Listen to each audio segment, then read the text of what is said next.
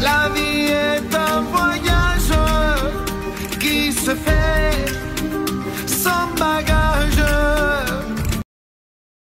Salut les amis, bienvenue sur la chaîne est un voyage, une petite vidéo des premiers achats pour euh, GECO, notre futur fourgon aménagé. Oui, oui, on va le chercher vendredi.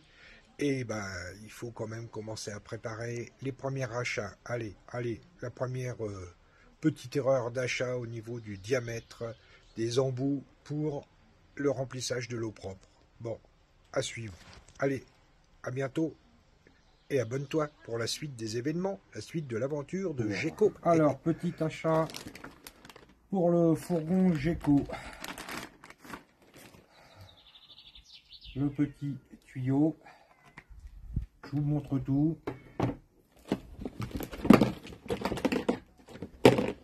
Le petit tuyau d'arrosage extensible. Je crois qu'il y a 15 mètres.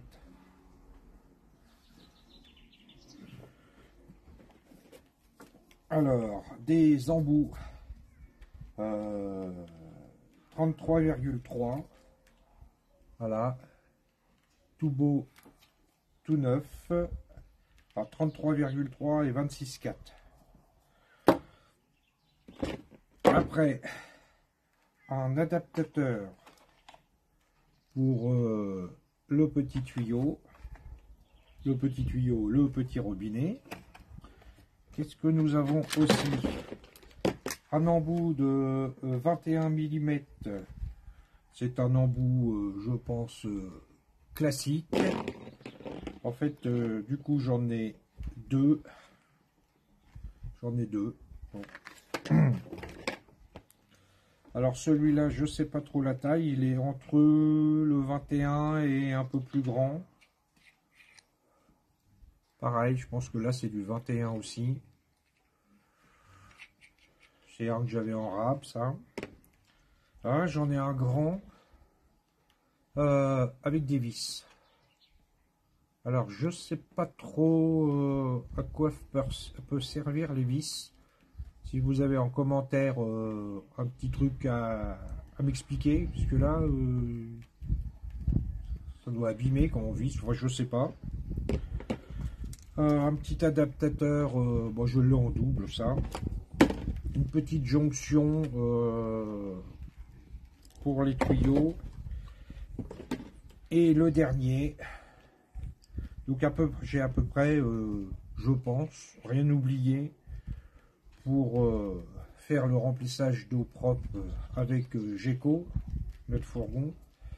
Donc euh, j'espère avoir juste oublié le petit bah, pour remplir.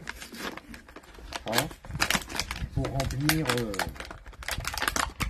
et bah, ce petit, cette petite chose là.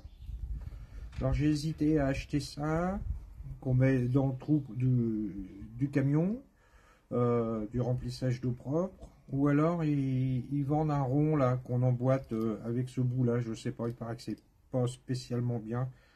Je sais pas, faudrait essayer, voir euh, à l'usage. Et oui, je viens de me rendre compte que ce petit G là, et ben en fait le, le bout est très gros par rapport à tout ce que j'ai acheté et j'ai pas acheté la bonne taille de ça. Donc euh, ça c'est pas de la c'est de la qualité. Donc je vais essayer de trouver un embout qui va de là à ça. Alors je sais pas du tout les tailles, euh, les numéros, les diamètres. Si vous avez euh, si vous avez un petit commentaire à mettre, parce qu'en fait normalement c'est ça, et moi j'ai ça. voyez la, différence, c'est monstrueux.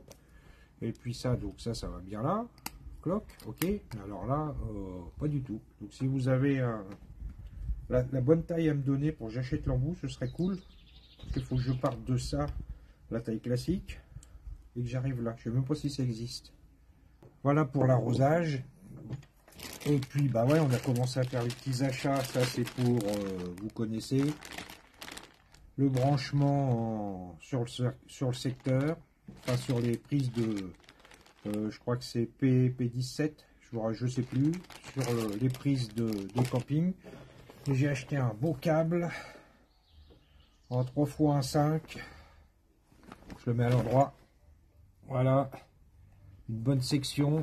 Alors j'ai pris 25 euh, mètres. Je ne sais pas si c'est trop long. Il y avait euh, plusieurs sortes de tailles, mais j'ai pris 25 mètres, c'est pas mal. Je pense que c'est pas mal parce que si on est un peu éloigné d'une borne, ça va nous servir.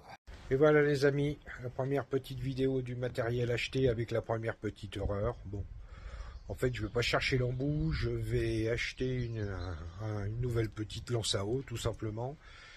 Et d'autres matériels vont arriver, donc la vaisselle, tout ça. Et vendredi, vendredi samedi prochain, euh, on va chercher le fourgon. Et oui, alors là, on fera une belle vidéo euh, de l'extérieur et de l'intérieur euh, avant qu'on mette du matos dedans, donc tout neuf. Donc à suivre. Allez, abonne-toi si tu veux nous suivre un petit peu. C'est vraiment pour le plaisir. À bientôt, salut. La vie est un